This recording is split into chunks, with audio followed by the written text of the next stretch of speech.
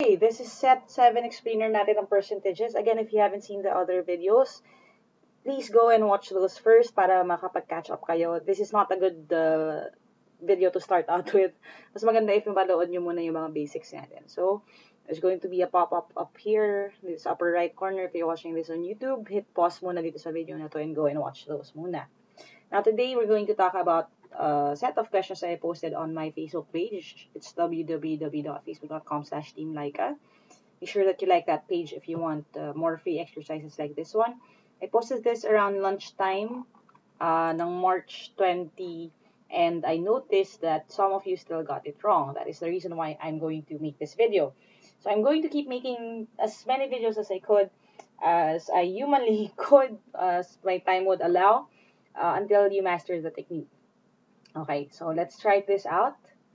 First question, sabi what is 95% of 2250? Again, you can do it a number of ways.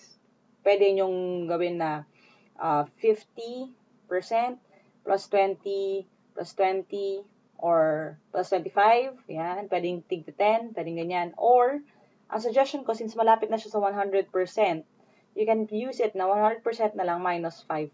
Kasi ang 100 minus 5 is 95%. So, ang 100% is the same number. So, 2250 minus 5%. Ano ang 5%? Kalahati ng 10%.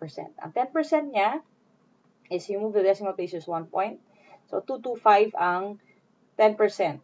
Okay, 10% 225. So, ano ang 5%? Kalahati ng 225 which is going to give us 112.5. So, 2250 minus 112.5, it's going to give us 0.5 here. Kikeri-keri tayo dyan, magkakaroon ng 9 doon. Okay, sorry, ng 9 doon minus 2, it's going to give us 7. Yan. So, it's going to give us this one. I-carry uli dyan, manghiram ka ng 4, 3, or kung actually usually dito, kung i-mental nyo na lang. But the answer is 2137.5.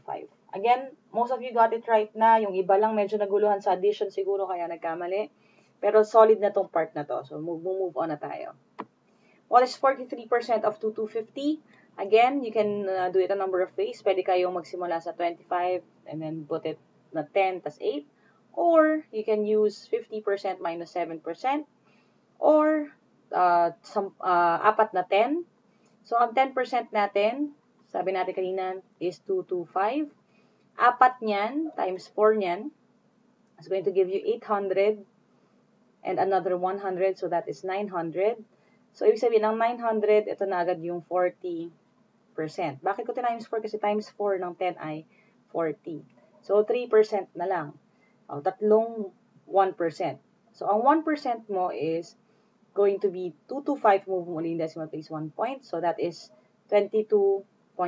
Ito ang 1%. Times 3 lang nito. So, it's going to give you 66 and then another 1.5. So, that is 67.5. So, the answer is 967.5. Pinagsama mo lang yung 900 plus yung 67.5. Okay? This is the final answer. Again, what I'm doing here, I'm not trying to explain the concept ha. I'm just going to show you the solution. Kasi, na-explain ko na in my earlier videos kung ano yung nangyayari. Make sure that you watch those to pick that technique up. It's going to save you a lot of time pagdating sa exam. Okay? Next, what is 12% of 60% of 1460? So again, you can start with the bigger end first. So 50% ng 1460 is half of it. So ang 50% plus 10% is going to give us 60%. 50% is 730 plus 10%, which is 146. It's going to give you 876. Ito ang 60%. And then, ang next, inahanap yung 12% nito. So, you can put 10% and then plus 2%. 10% ng, 87, ng 876 is 87.6. Okay? Plus 2%. So, ang 0.1 naman, imumove mo ulit decimal place isang beses siya. So, 8.76 times 2. Okay? So, that is going to give you 12, 14, 15, 8, 16, 17. Tapos, dalawang decimal point, 17.52. It should give you uh, 2 here, an extra 1 here. So, carry ka ng isa dyan. It's going to give you 15, and then this is going to be 0. Okay? So, 105.12 ang sagot dito sa number, sa letter D or sa pang-apat. Some of you already got this wrong, pero again, hindi tayo susuko, tuloy lang ng tuloy. Ang next na question, okay, careful dito ha, if you look quickly, from 12% of 60 of of 60% of 1460 is going to be 12, 1 half percent of 24% of 1460. Again, huge difference between 1 half of and 1 half percent of. Okay? So, ang 1 half of is 0.5. Ang 1 half percent of is 0.5. Tapos, dahil may percent pa siya, magiging 0.5, 1, 2, it's 0.005. Or, like what we do, 50% as move the decimal place na lang. Now, I'm going to show you how to do it. Ha? Ito muna tayo sa 24% of 1460.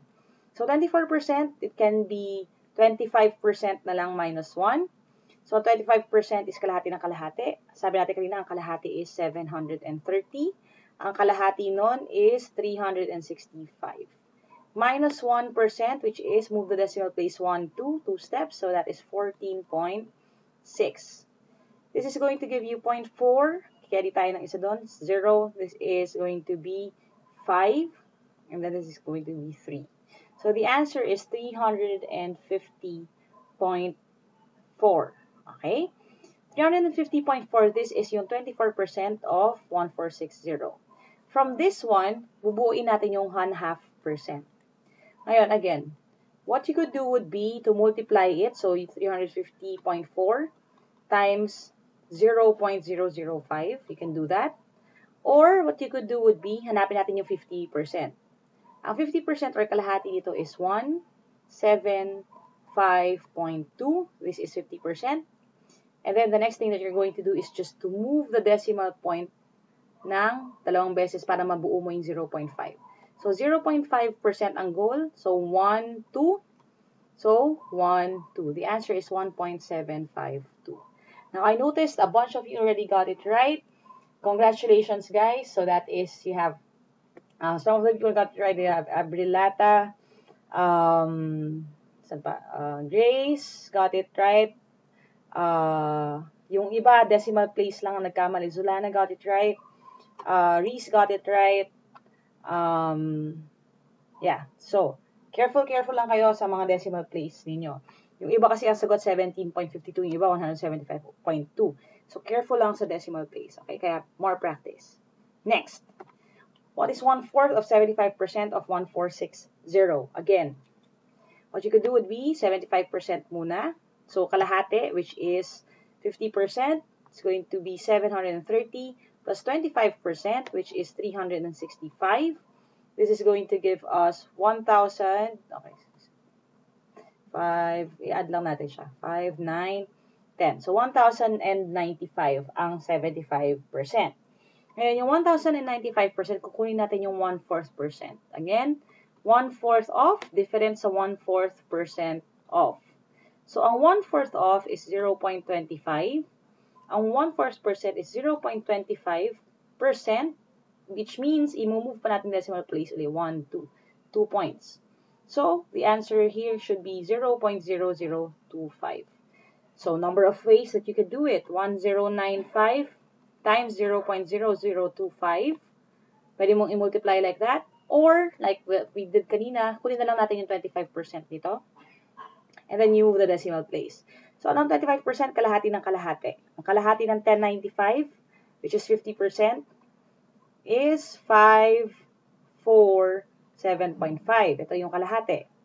Kalahati uli niyan. Divide mo yan sa 2. So, it's going to give you 2, 7, 3, tapos may remainder ka pa na isa, 0.75. Okay? So, ibig sabihin, 25% of 1095 is 273.75. Hinahanap natin 0.25%. May dalawa ka pang decimal place. 1, 2 para makuha mo yung 0.25. So you're going to move it again. 1, 2. The answer is 2.7375 or dahil 2 places lang usually sa hinahanap sa civil service, that is 2.74. I-round up natin. Okay? So if you answered either this or this, you got it right. Now, again, most of you got it, uh, some of you already got it right. So you have Abrilata who got it right. Grace got it right. Zulana got it right. Um, tama rin si Erica, Reese, and uh, Daryl. So, good job, guys. Ibig sabihin, nakuha niyo na talaga yung concept. We can move on from here. A few of you are, uh, still got it wrong, pero mas marami na yung nakatama. So, we're going to stop muna with this type of question here. Next video is going to be really special, so make sure that you're subscribed to this channel. You can watch uh, all of the videos here. And uh, para makita ninyo yung susunod na video, make sure na subscribe kayo if you're watching this from YouTube. Um, you can hit the bell icon doon sa subscribe bar. The reason for that is for you to know when when it posts. Kasi ang pag-uusapan natin is my special technique on answering mga percentage questions na ibang itsura. So, what is what percent of this number? What's what percent of this number? I'm going to show you how to use ratio notation and how to use a speed technique without using algebra when it comes to solving that type of question. So, looking forward to that. I'll teach you soon. See you on my next video. God bless.